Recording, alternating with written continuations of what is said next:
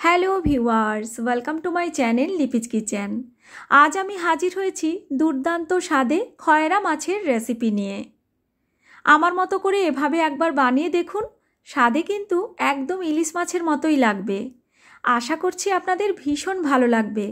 আমার চ্যানেল এখনও না সাবস্ক্রাইব করা থাকলে চ্যানেলটি সাবস্ক্রাইব করার অনুরোধ রইল।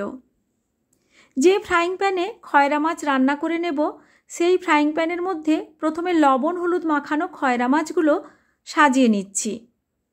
পাঁচ পিস খয়রা মাছ ভালো করে ধুয়ে নিয়ে লবণ, হলুদ মেখে রেখেছিলাম দশ মিনিট আগে থেকে। এখন খয়রা মাছের পিসগুলো এভাবে ফ্রাইং প্যানে সাজিয়ে নিয়ে এর মধ্যে মিশিয়ে দিচ্ছি বেটে রাখা সর্ষে। চার চামচ সর্ষে, একটি কাঁচা লঙ্কা আর সামান্য একটু লবণ দিয়ে মসৃণ করে বেটে রেখেছিলাম।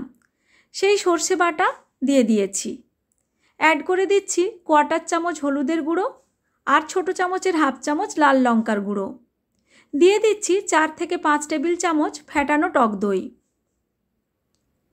মিশিয়ে দিচ্ছি দুই থেকে তিন টেবিল চামচ পরিমাণ কাঁচা সর্ষের তেল।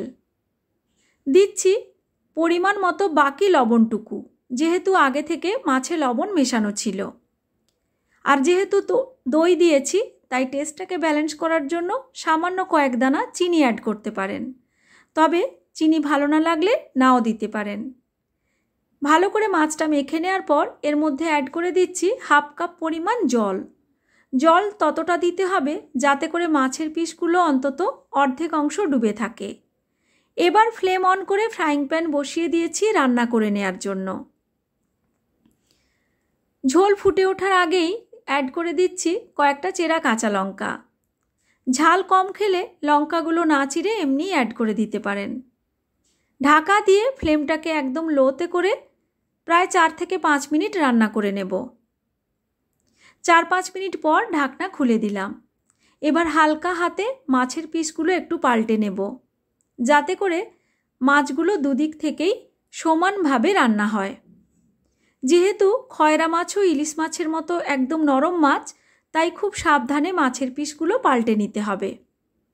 পাল্টে নেয়ার পর ঢাকা দিয়ে আবারও এই লো ফ্লেমেই চার থেকে পাঁচ মিনিট রান্না করে নেব।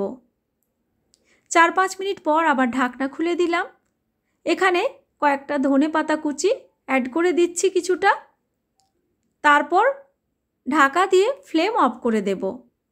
ফ্লেম অফ করা অবস্থায় আরও দু চার মিনিট দিয়ে রেখেছিলাম স্ট্যান্ডিং টাইম দিয়ে, দেখতেই পাচ্ছেন।